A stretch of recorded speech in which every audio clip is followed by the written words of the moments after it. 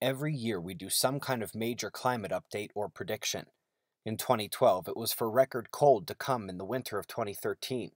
In 2014, it was a prediction of a record El Nino that was to finally end the so called global warming pause.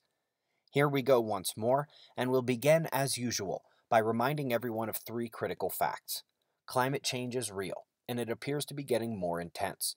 As the dominant species of this planet, we have proven that humans have an effect on this ecosystem and the climate within it. Pollution is a major problem for many reasons, including the contamination of our air, water, and soil with poison. In terms of our effect on the climate, the question has always been to what degree, and how to forecast the future amidst what is now two decades of failed predictions of global temperatures. It took the record ENSO event, an El Nino, in 2015 and 2016 to finally break the global warming pause and get record high temperatures again. But still, not to the levels that were predicted, even with the record El Nino. Speaking of the global warming pause, a few professors still don't believe it existed, but the world's top organizations and most top researchers recognize a temperature anomaly that deviated from expected since about the turn of the century or a bit before. The current explanation for it is that the heat has somehow been hiding in the Arctic. But we need to hold on to that thought for a bit of history to catch up. If some had their way, they'd have you believe the Earth was created in 1880, and indeed, there is not much previous temperature data that ever enters the climate debate. However, at the current stage, we are really about in the realm of what the medieval warming period was and about the Roman warming period before that. Without industrialization, we may well have already seen the beginning of a dive back into glaciation on this planet, a beautifully reliable cycle of which we've managed to enjoy the greatest period of warmth and we've flourished as a species, not unlike previous warm periods and explosions of life on Earth. However, something has happened during the global warming pause.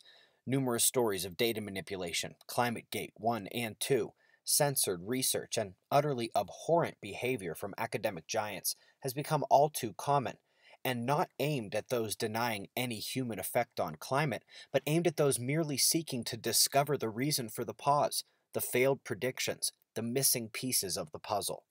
There is a terrific article that I can't believe still exists online, although maybe not for too long. Intellicast was the powerhouse that has been behind the private, private sector workings of the weather company, the big money, the long range forecasting, the non politicized, we just need the best information and the right answers sort of place. At the least, that used to be the case before IBM took the reins. I know it is a different place now, but back in 2009, in an attempt to have their experts say in climate change. They explain how the climate really fluctuates over genuinely meaningful timescales, and with the link below, you can read about how their experts believe that this climate was already well on its way to cooling back into a glacial cycle over 2,000 and even 5,000 year timescales. But then, they jerk the wheel and head into the forest. About halfway through the article, they go into a tirade. Remember, this is Intellicast top scientist stuff here. Likely driven by their frustration over lack of data, they describe how rural station after rural station was disappearing from the data. Not that the stations were disappearing literally, they were just being ignored by NOAA around the time they demonstrate in the article that the regions losing data versus the regions gaining data stations were the cold versus the warm anomalous regions, they do all but accuse NOAA of fraudulently labeling the entire ocean as warm when the majority of ocean stations at the time recorded below average temperatures. We've heard plenty of that type of behavior out of blog sites in recent years, but 2009 is as early as I've found such accusations of impropriety, and it's from Intellicast no less. Using the long term data, they could come to only one inevitable conclusion. The glacial interglacial cycle every 100,000 years is supremely powerful, like needing eight times the human effect we've already seen to overcome the natural finish line of this cycle. It is only a matter of time. Those are strong words and strong minds.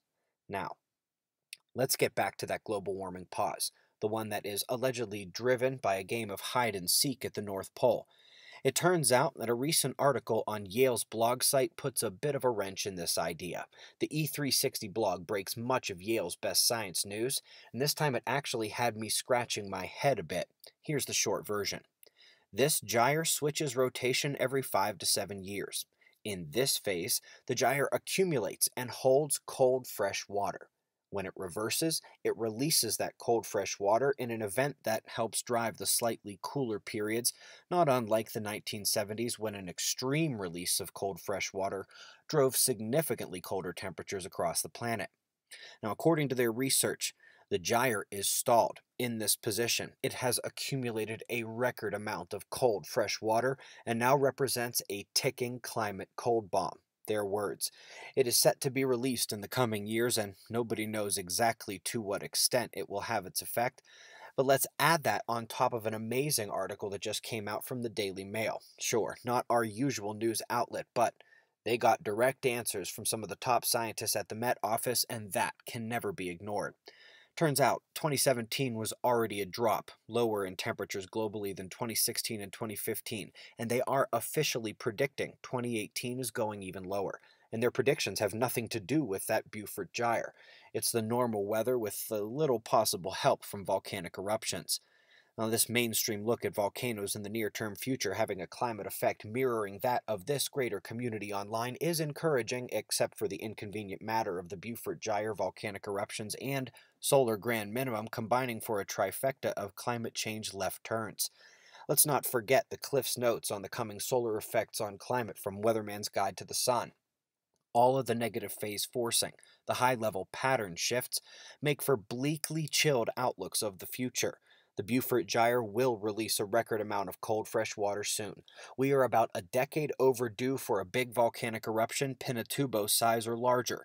It is hard to find any indication on the sun that anything but a grand minimum is upon us, and we are already riding the end of an interglacial cycle. Now, despite acknowledgement of human caused climate change and our extreme abhorrence of pollution, our concerns in this realm, as outlined in this video, get us this label. I would like you to ask yourself how the global warming pause happened with the cold fresh water trapped at the North Pole as the Beaufort Gyre has been stuck, and if that has been the case, how much heat could have really been hiding there? What happens if the gyre releases, the volcanoes go off, the sun goes to sleep, and we shift back towards the natural forcing of the glacial cycle? Thus far, we've seen the record El Nino push us one degree above average, and that's with the gyre holding the cold partially at bay.